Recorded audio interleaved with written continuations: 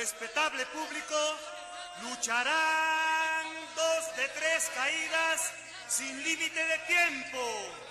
En esta esquina, el santo...